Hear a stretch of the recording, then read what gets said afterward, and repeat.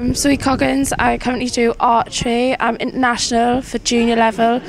My short term goal is obviously to get on senior squad and maintain the status that I've had at juniors. And also, long term goal is for Commonwealth Games 2016 and just to do all the Grand Prix for international too.